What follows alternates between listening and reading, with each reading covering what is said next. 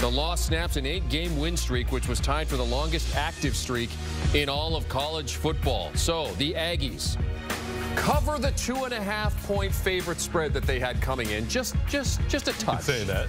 Just a touch. And uh, the game also hits the over. It was 47 and a half. They scored 51 in the game. Aggies getting 41 of those as they improve to 5 and 1 on the season.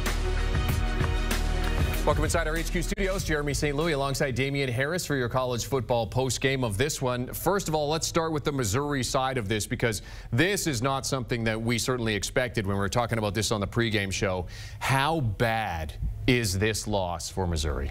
Very bad, and very much so worse than the scoreboard indicated. This was a complete dominant blowout from Texas A&M. Miami did not, or excuse me, Miami, Missouri did not show up offensively, defensively, special teams. They, they were just out there collecting a sweat, as my guy Bill Belichick used to say. I mean, nothing about this game went their way, and on the flip side, everything went the way for Texas A&M.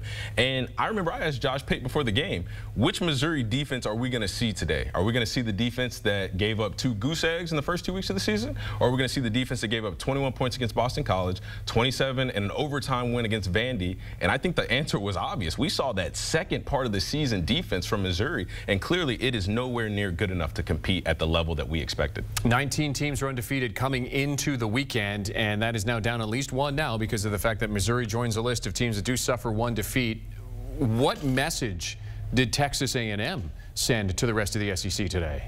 Well, aside from Texas A&M, Conner Weigman sent a message today. To this Danny Kanell? My, yes, absolutely. Well, to myself, too, because I was almost ready to go back on my pick whenever I heard that he was going to be the starter. Yeah. But he came out and told me, he told Danny, he told all the people that thought that this was somebody else's team, this is my team. I am here. I am ready for this moment. This is the biggest moment that he's been in so far. It's the biggest game for Texas A&M so far this season. And look at the way that they performed. And I said this was a complete dominant effort for Texas A&M. Without Conner Weigman, I don't think this team plays collectively as well as they do. So for him to be able to come out, silence the naysayers, silence the doubters, show that he can play. And not only was he playing, he was being physical. He was running the ball. He wasn't sliding. He was taking hits. He was playing tough, gritty football. Now, as a coach, you sit here and look at him and like, well, I wish he would slide. He's coming off a shoulder injury. Right. But what does that do for the rest of his team when you see a guy that's been on the sideline for weeks and weeks, chomping at the bit to get back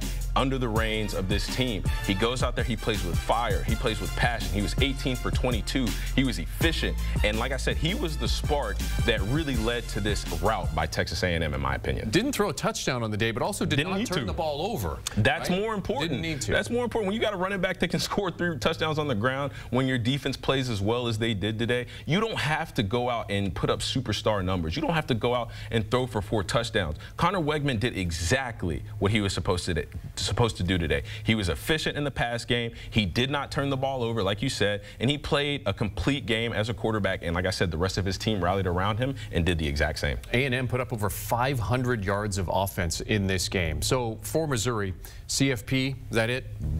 It should be. It should be because to me, this is yes they just lost and yes they just got blown out but this is a this is a trend that we're seeing. The boston college win we were looking um okay missouri should have won by more.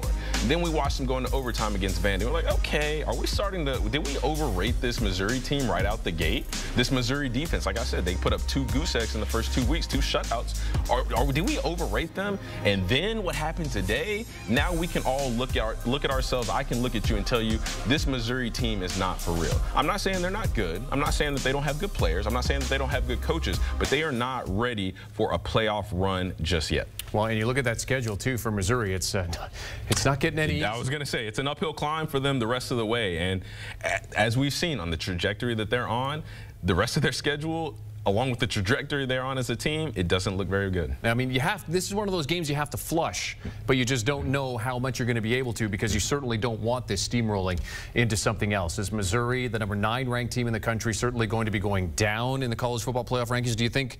I mean, this is almost a case where, based on the play, you almost switch it, but A&M obviously not going to move right. that much. But A&M definitely made some ground. They made up some ground today. Do you think they're in the top 15?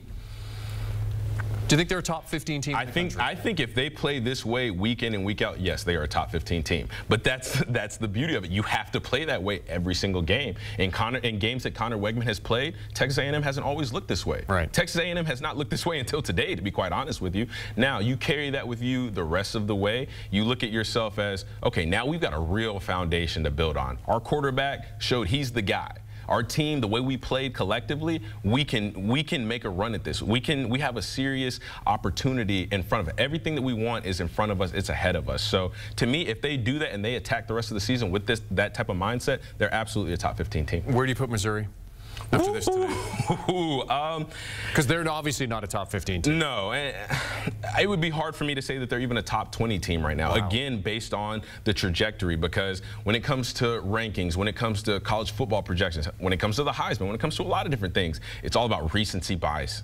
What have you done for me now? Uh -huh. What are you doing for me? Danny Kanell loves to say it all the time, right? What are you doing for me right now? And what has Mizzou done over the past month? They let one, they they squeaked away with one, then they really squeaked away with one against Vandy, and now they just absolutely routed. So to me, they're they're a 20 to 25 ranked team right now. Well, we'll see. The new AP poll will come out on Sunday. Missouri 41-10 losers to Texas A&M as the Aggies send a message to the rest of the SEC and college football that they are around to stay. As you take a look at versus AP ranked teams, the Aggies this is the largest win versus an AP top 10 opponent uh, in school history, 34 points. Their first win versus a ranked opponent since 2022. As you see here, they've lost their previous six games. Big winners, though, on Saturday.